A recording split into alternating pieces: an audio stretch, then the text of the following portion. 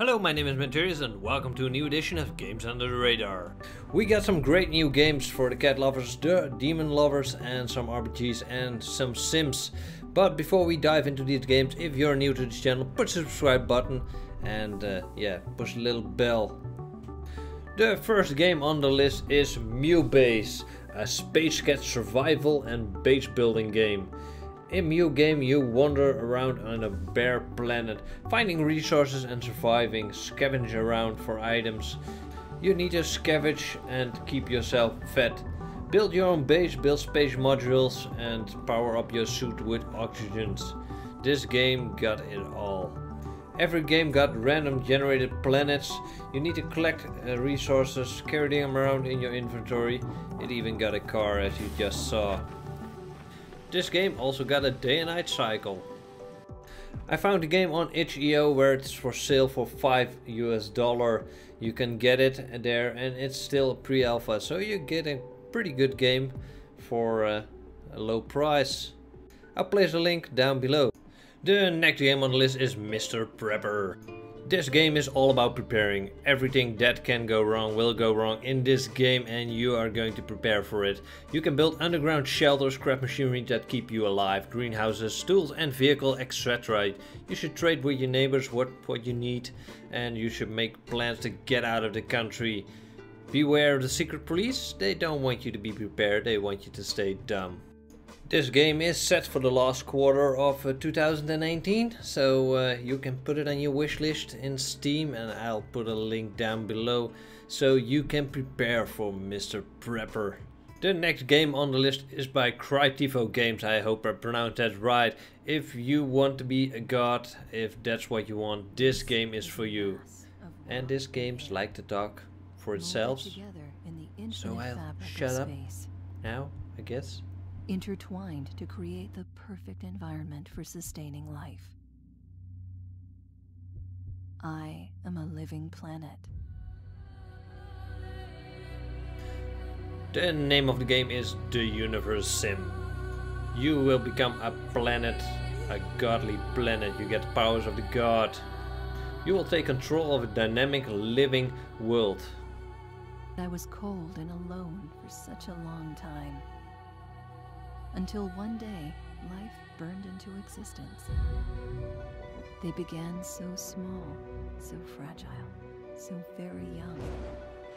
But with time, they grew stronger, and civilizations rose from the dust. From stone to metal, their technologies advanced. Soon they learned to swim. And eventually, they learned how to fly. As you can see, this game looks astonishing. You will help your civilization advance through the ages. For a time, I thought we would be friends. But that was not to be. They drained my resources for centuries, until I had nothing left to give. What will you throw at your civilization? They endured my disasters and cured whatever diseases I could unleash.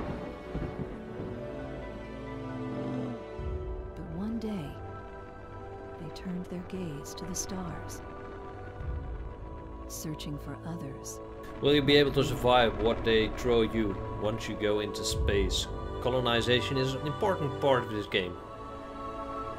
What they did not know was that they were not alone. The game is set for the 28th of August 2018, so put this game on your wish list or pre-order it on Steam. I'll put a link down below because this game looks amazing and I'm definitely going to play this one when I get my hands on it.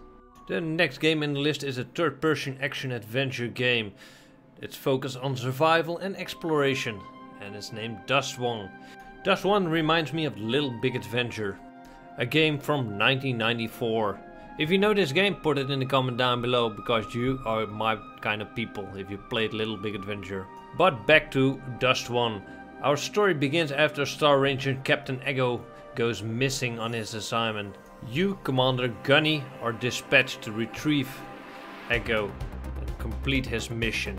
You will encounter new life forms and hunt forests to stay alive, explore the ruins forgotten civilization guarded by hostile spirits, discover artifacts to unlock the secrets of an ancient and beautiful wilderness. You will be able to climb any terrain, explore the planet, explore the vast islands on the back of your motorcycle, cook various things to stay alive, and uh, yeah, go explore everything that you can find. Because this game looks astonishing.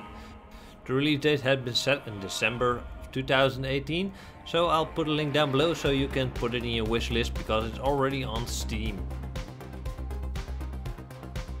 The next and last game on this list will speak for itself. It's Judgment Apocalypse. This is our colony. Our home. I never thought we'd come this far.